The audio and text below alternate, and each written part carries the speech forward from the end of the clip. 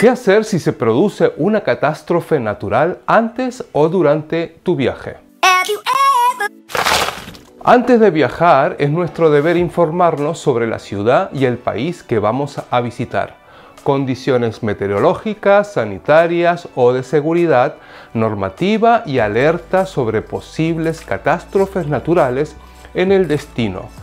Son cuestiones que debemos consultar durante el tiempo que organizamos nuestro viaje. Además de acudir a guías, blogs o revistas, es recomendable consultar la información actualizada en el portal del Ministerio de Asuntos Exteriores de tu país. Estar siempre localizados. Informa a tus familiares y amigos sobre tu itinerario de viaje para que sepan en todo momento dónde te encuentras.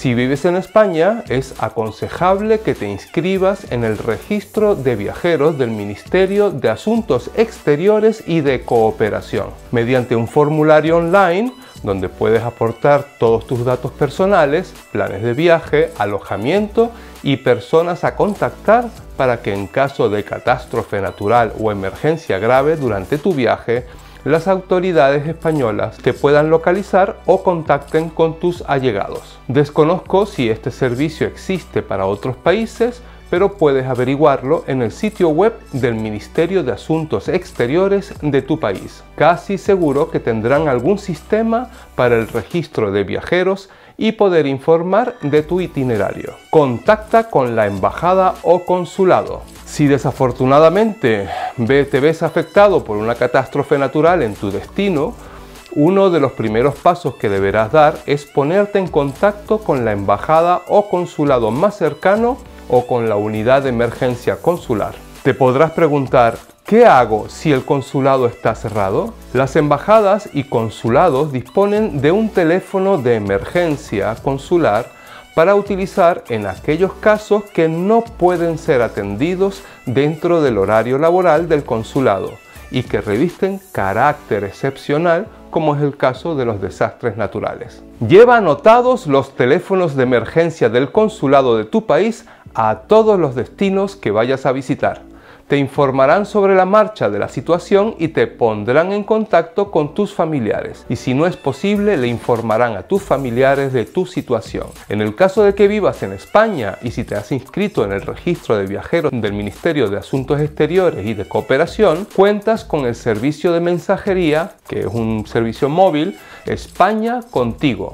Cuando los viajeros inscritos en este registro entran en otro país, reciben en su teléfono un SMS gratuito con las ciudades de ese país donde existe embajada y consulados de España y sus correspondientes números de emergencia consular. En el país donde no haya representación española, se te informará del consulado más cercano que hará dicha función. Un consejo, lleva siempre contigo en el momento de viajar fotocopias y originales de tu pasaporte y documento de identificación nacional. Por supuesto, no está de más tener en la nube, Dropbox, Google Drive, etc., unas copias digitales de estos documentos, porque te serán muy útiles en caso de un desastre natural, pérdida o también de robos. Avisar a nuestros familiares y amigos. Contacta con tus familiares o amigos para informarles de tu situación. Como es de suponer, en estos casos las líneas de teléfono se colapsan. Te recomiendo algún sistema de mensajería instantáneo o la función también de Safety Check de Facebook.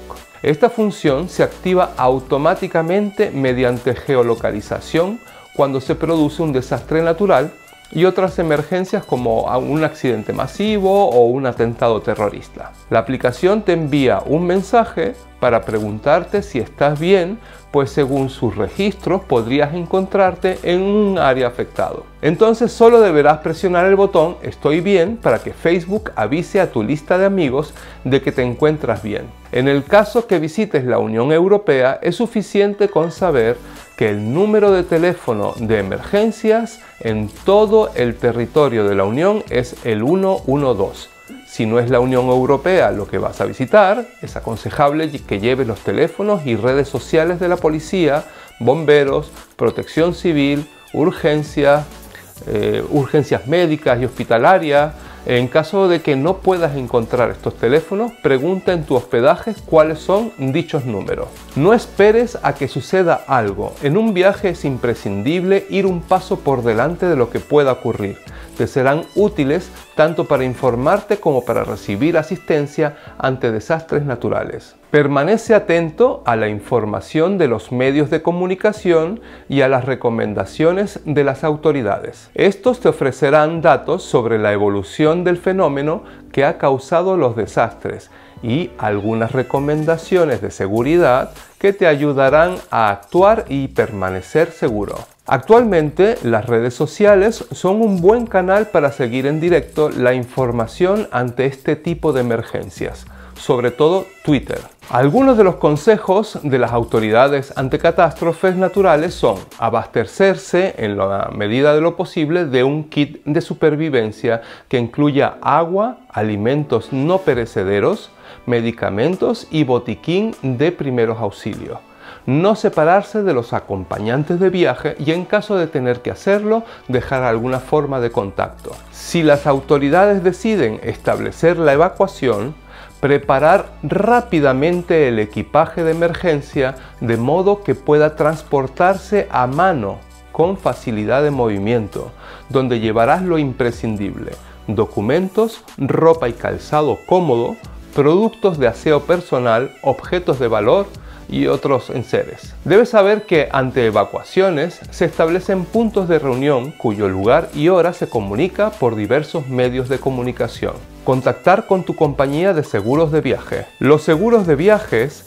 contempla los diferentes imprevistos que suele afectar a los viajeros entre sus coberturas, facilitando a estos la asistencia necesaria o cubriendo gastos. Ya sabes que viajo con los seguros de Intermundial, por lo que solo puedo hablarte de los seguros de viaje de esta compañía. La gama de seguros de viajes de Total Travel, además de ofrecer coberturas de asistencia médica, anulación de viaje o problemas con los equipajes, también tienen en cuenta las catástrofes naturales. Abajo te dejo un enlace para que vayas a la página de la compañía. Recuerda que con el código Que Gran Viaje 10 conseguirás un 10% de descuento en la contratación de tus seguros de viaje. Como ya comentamos, los desastres naturales pueden afectar al viajero de diversas formas. Si sufres daño a causa de una catástrofe natural, el seguro de viaje te brindará asistencia en la medida en que los recursos de infraestructuras sanitarias existentes en la zona lo permitan. Estos podrían haberse visto afectados por el desastre. Si se produce un desastre natural en tu destino y es declarado oficialmente zona catastrófica, podrás cancelar en el caso de que aún no te hayas marchado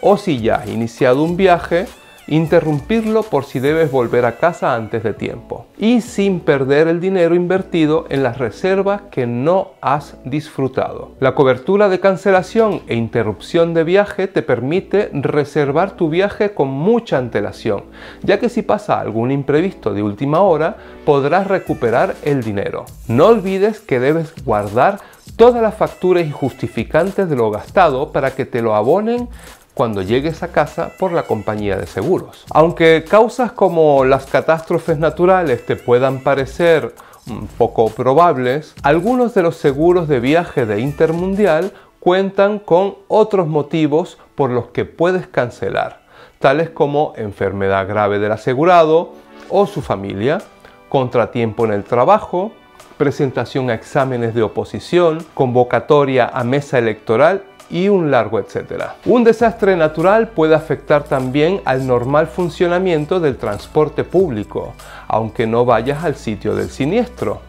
Así que si el medio en el que tienes plaza se retrasa o pierdes todo o parte de los servicios que habías contratado, excursiones, visitas, noches de hotel, comidas y ese largo etcétera, el seguro de viaje te reembolsará el importe de estas reservas no disfrutadas. Si en cambio el medio de transporte público se retrasa más de 4 horas y esto te imposibilita el enlace con el siguiente transporte, Intermundial te reembolsará los gastos adicionales de transporte alternativo para llegar al destino, así como los de alojamiento, comida y transporte durante la espera. Contactar con la agencia de viaje. En caso de que hubiéramos contratado un viaje programado con una agencia, podemos solicitarle información y asistencia siempre dentro de sus posibilidades y teniendo en cuenta las circunstancias especiales del destino. Si en cambio con la agencia solo hemos contratado servicios sueltos como billetes de avión o noches de hotel, serán las compañías y no las agencias de viajes quienes deberán asumir cualquier responsabilidad que se produzca durante el desarrollo del viaje, siempre dentro de su ámbito de gestión. Ahora ya cuentas con mayor información para saber cómo proceder si desafortunadamente un desastre natural se produce en tu destino antes o durante tu viaje. Con todo, la mejor forma de prevenir es conocer aspectos del destino que puedan anticiparnos a este tipo de sucesos, como por ejemplo cuándo no viajar a ciertos lugares en los que azotan huracanes o tifones, o qué localidades evitar si se hallan dentro del radio de peligro de un volcán activo. Recuerda que te dejo abajo el enlace y el código cupón para que te beneficies de un 10% de descuento en la contratación de tu seguro de viajes con Intermundial. Siempre me cuesta despedirme, pero no queda otro remedio. Así que ya sabes, dale a like a este vídeo, es muy importante que lo hagas, no te cuesta nada y me beneficia mucho. Deja abajo todas tus dudas y comentarios y si todavía no lo has hecho, puedes suscribirte justo aquí, donde está saliendo mi cara. Muchísimas gracias y será hasta el siguiente vídeo. Si te ha gustado este vídeo, compártelo en todas tus redes sociales, dale a like y suscríbete. Recuerda que estamos en Facebook, Twitter e Instagram bajo el nombre de Qué Gran Viaje.